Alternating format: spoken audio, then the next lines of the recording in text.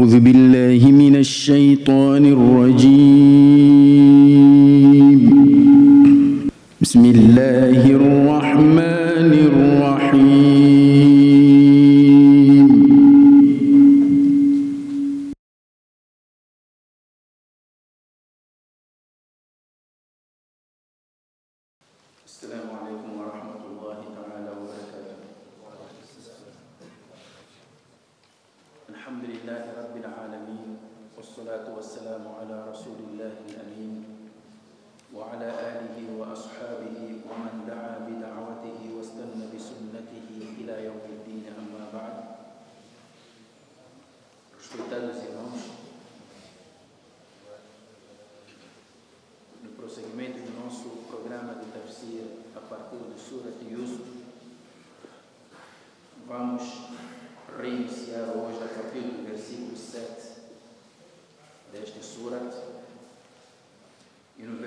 الست الله سبحانه وتعالى بيش بسم الله الرحمن الرحيم.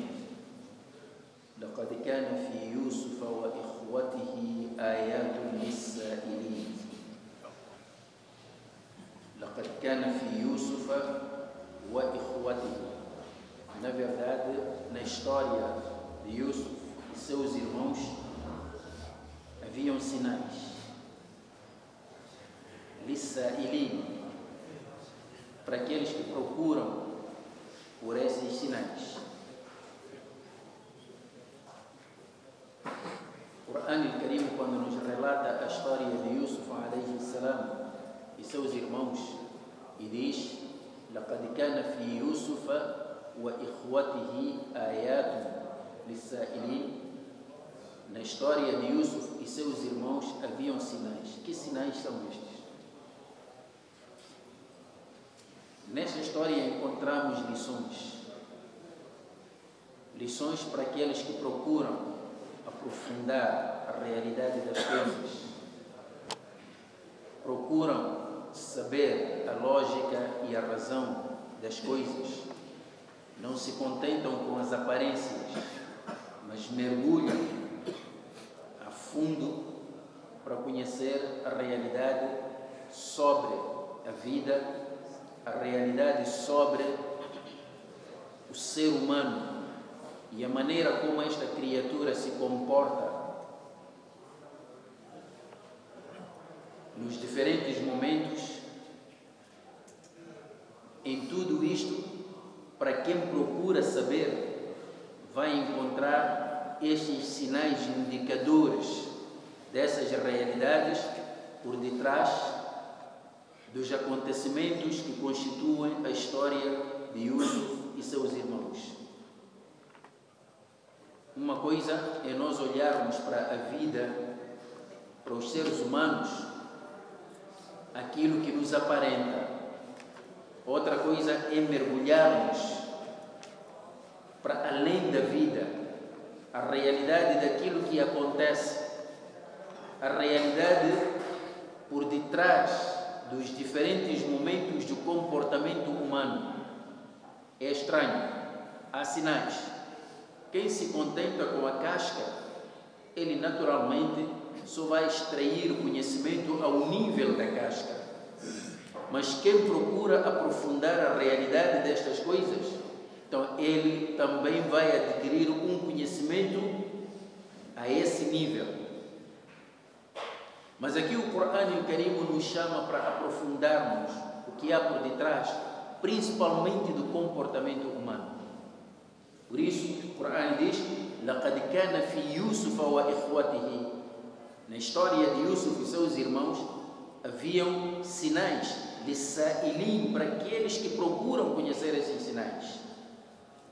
Então, o primeiro dos sinais que nós encontramos que revelam o comportamento do ser humano, o primeiro sinal que nós encontramos na história destes irmãos é o que o Quran Karim aqui revela e diz: إذ قالوا ليوسف وأخوه أحب إلى أبينا منا ونحن عصبة إن أبانا لفي ضلال مبين A verdade é que estes irmãos, Nabi Yaqub tinha vários filhos de várias esposas. Yusuf e seu irmão Bunyamin, este que na Bíblia é conhecido por Benjamim, estes eram os mais novos. Os outros eram mais velhos, de uma, de uma outra esposa de Nabi Yaqub, quanto que os outros dois últimos, Yusuf e seu irmão Bunyamin, eram uh, de uma outra esposa. Os historiadores até sugerem que seu nome deveria ser Rahim, que ela acabou perdendo a vida. Portanto, eles muito cedo tornaram-se órfãos. Jacob já era um homem de uma idade avançada. E esta questão de filhos numa idade avançada, entre irmãos, filhos mais novos, é comum encontrarmos um pai a dedicar parte significante do seu amor, a sua ternura ao filho mais novo principalmente quando este filho mais novo torna-se órfão de mãe. Portanto, a grande parte do amor do pai vai para este filho mais novo. Foi exatamente o que aconteceu na vida de Nabi Yaqub. Então, esta preferência, que na, na, verdade não era preferência, era uma inclinação natural. Embora Nabi Yaqub fosse profeta, mas não deixava de ser humano. Então ele tinha mais dedicação ao seu filho Yusuf, principalmente depois do sonho que ele teve e contou ao seu pai. Então, esta diferença foi notada pelos irmãos mais velhos de Yusuf. Então eles comentaram isto entre eles. E o Corão Karim registra esse comentário. Idqalu recorda-te de quando eles disseram La Yusuf na verdade Yusuf e seu irmão Ahabbu ila abina. São mais queridos para o nosso pai do que a nós. Wa nahnu usba. Mas como é que isto pode acontecer se nós somos jovens, robustos? Nós ajudamos nosso pai. Ele confia em nós. Qualquer trabalho nós é que estamos a fazer. Somos aqueles homens que defendem a família, procuram o bem-estar da família, e nosso Pai simplesmente dedica o seu amor aos nossos irmãos mais novos. Como é que isso pode acontecer? Inna abana lafi mubin. Na verdade, nosso pai está num evidente erro. Em algum momento, estes filhos esqueceram-se de que este pai, além de ser pai, era o homem de, era um homem de Deus, era o enviado de Allah para o povo de Israel, era um profeta. Como é que ele, como é que ele estaria num evidente erro? Mas a verdade, eles comentaram isto, e aqui começa o problema. Agora, será que eles sabiam e tinham conhecimento do sonho que Yusuf teve, mas nós vimos anteriormente que o pai proibiu que o filho contasse aos irmãos sobre o seu sonho. Não deves contar este teu sonho para os teus irmãos, senão eles irão conspirar contra ti. Mas mesmo assim, aquilo que Jacob temia que os irmãos fossem fazer contra o seu irmão, e acabou aconselhando o filho para que não contasse aos seus irmãos mais velhos sobre a sua visão, sobre o seu sonho, aquilo que ele temia por ele acabou acontecendo de outra forma. Ele tinha medo que se Yusuf contasse aos seus irmãos que, olha, teve um sonho, isto iria criar conspirações e ódios entre irmãos. Mas, entretanto, aconteceu de outra maneira. Aconteceu através do amor que Jacob sentia pelo filho. Sabem, estimados irmãos, quando algo está para acontecer, algo que Allah decretou, algo que o Criador decretou, quando está para acontecer, não há força capaz de travar. E se Allah não quer que a coisa aconteça, não há força capaz de fazer acontecer. Isto para nós, como muçulmanos, deve ser uma crença inabalável. Às vezes nós culpabilizamos as pessoas. Ah, foi por causa de fulano. Ah, porque aquele fez aquilo. Calma. Se a coisa aconteceu, Allah decretou assim, ninguém mais poderia trabalhar. E se Allah não quisesse que a coisa acontecesse, simplesmente não iria acontecer. Jacob queria evitar que os irmãos de Yusuf pudessem sentir este ódio contra o seu irmão Yusuf. Disse então: não conta sobre o seu sonho. Aquilo que ele temia acabou acontecendo por outra forma. Estimados irmãos, ah, uma história só aconteceu em que num prédio que estava em construção colocaram lá um guarda para a hora que os trabalhadores saíam, ele ficava lá a guarnecer o prédio. Então, numa tarde, estava lá no terraço, prédio em construção, estava a descansar numa cadeira e o homem caiu. Para quem cai num prédio, o que é que se espera? A pessoa morreu. Mas o homem chegou aqui no chão ileso. Quando vê, vê uma multidão toda procurar saber o que, é que aconteceu, apanharam um homem simplesmente está a tirar a poeira da roupa. Admiraram-se, foi um milagre isto. Não é possível a esta altura você cair e não, pelo menos não se alejar.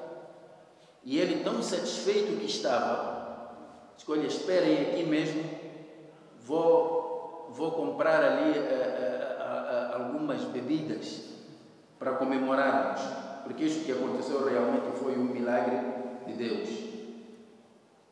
O homem sai, vai comprar uma caixa das suas bebidas, pois estava de regresso, um carro atropelou e morreu.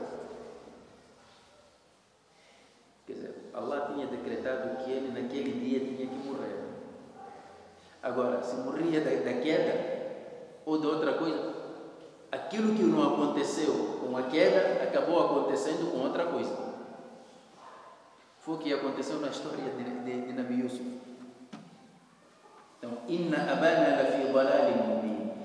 Mas esta conspiração, este do, quer dizer, dos irmãos, os comentários que fizeram, as lamentações, nosso pai prefere a este do que a nós, acabou ganhando corpo. Acabou ganhando corpo. Como? Quando conspiraram um plano para se livrarem de Yusuf. Porque para eles, a causa de, do afastamento do seu pai, a falta do amor que eles sentiam, o amor do seu pai, a causa de tudo isso era Yusuf. Então, para eles, a ideia era de eliminar a causa deste problema. Como é que eles vão eliminar essa causa? Corão Karim diz, então, um deles disse: Uqtulu Yusuf, matem Yusuf. A solução aqui é matar Yusuf. Ou não, ardan. Ou então, vamos lançar ele numa terra longínqua, longe daqui. Ele não pode viver aqui perto. Se vocês fizerem isso, matá-lo, ou desterrá-lo, يَخْلُ لَكُمْ وَجْهُ أَبِيكُمْ Assim o rosto do vosso pai estará livre de Yusuf. Recordemos, o Corão o que é que diz? لَقَدْ كَانَ فِي يُوسُفَ وَإِخْوَتِهِ آيَاتٍ Havia na história de Yusuf seus irmãos sinais. Sinais do comportamento humano, comportamento estranho Há coisas que não se esperam de um ser humano, sendo ele um ser dotado de perspicácia, dotado de sensatez. Ele tem a capacidade racional. Há coisas que não, um ser humano não deve fazer. Mas eles fizeram. Vejam só, primeiro, vamos pela primeira, uh, pela primeira medida. Vamos matar Yusuf. Quer dizer, para eles era mais fácil eliminar uma vida inocente, incapaz de se defender, para atingir o seu objetivo. Por causa do ódio. Este é que tomou para si o amor do nosso Pai, então ele deve morrer. Então, a ver esse comportamento estranho. Entre nós não há isto. Quer dizer, para eu atingir aquele nível, para eu conseguir aquele cargo, nem que eu tenha que pagar curandeiros para matarem aquele senhor, sair ocupar. Um comportamento estranho. Não era disto que se esperava do ser humano. Mas o ser humano, na sua degradação moral, chega a este nível. Por isso mesmo o Corão Karim diz: "Laqad khalaqna al-insana fi ahsani taqwim". Nós criamos o homem na mais perfeita forma. Thumma radadnahu asfala safilin, mas depois o rebaixamos para o mais baixo nível. Illa alladhina amanu wa amilu salihat, exceto aqueles que creram e praticaram boas ações. Allah criou o homem na mais perfeita forma.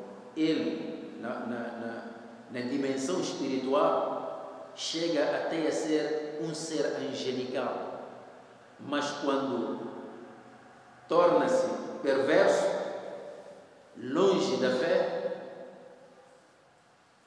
com a degradação moral, acaba, acaba chegando a um nível mais baixo do que os animais selvagens. E hoje, quando olhamos para a nossa vida, ao nosso redor, vem, vem, vem comprovar isto que o Corão Karim está a dizer. Quando olhamos para as guerras no mundo, onde vidas inocentes são dizimadas, só para as pessoas conseguirem sugar os recursos numa determinada região. O que é isto? É um nível mais baixo do que as bestas.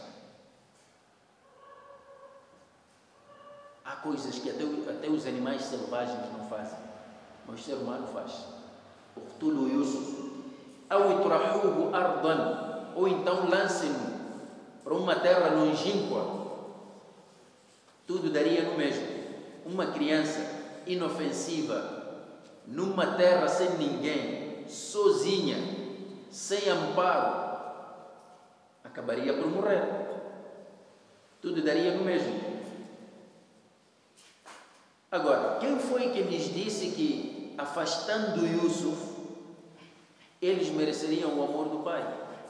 Quer dizer, eles pensaram assim: talvez o nosso pai gosta mais de Yusuf porque ele está aqui. Se ele deixar de ver este filho, então logo vai se esquecer dele, também já não vai sentir mais amor por ele e aí vai se dedicar a nós.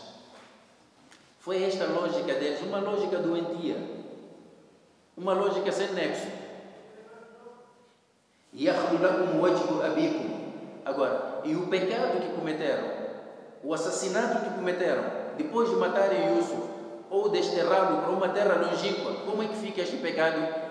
Já tinham preparado isso. وَتَكُونُوا مِنْ بَعْدِهِ قَوْمًا صَالِحِينَ Depois disso vocês vão se arrepender e vão se tornar pessoas piedosas. Este tipo de pecado, aliás, este tipo de arrependimento, Allah não aceita. Porque é um arrependimento preparado antecipadamente. Quer dizer, já está lá pronto no armário. Você prepara o arrependimento, vai cometer o crime. Depois de cometer, busca o arrependimento, pronto, já está tudo resolvido. Quer dizer, isto não é arrependimento. Isto é para justificar o cometimento do crime. Só. وتكون من بعده قوما صالحين esqueceram-se aqui? Primeiro, embora não fossem profetas, mas eram da casa da profecia, eles eram filhos de um profeta. eram irmãos. Eles pertenciam a um povo portador de uma mensagem divina. Esqueceram-se de tudo isso. Por causa de quê? Por causa de mesquinices. Porque meu pai gosta mais daquele, não gosta de mim. Isto, isto pode levar um irmão a assassinar o seu irmão. Pode levar um irmão a odiar o seu irmão. Mas os seres humanos fazem isso. Por causa de mesquinices, acabam cometendo atrocidades.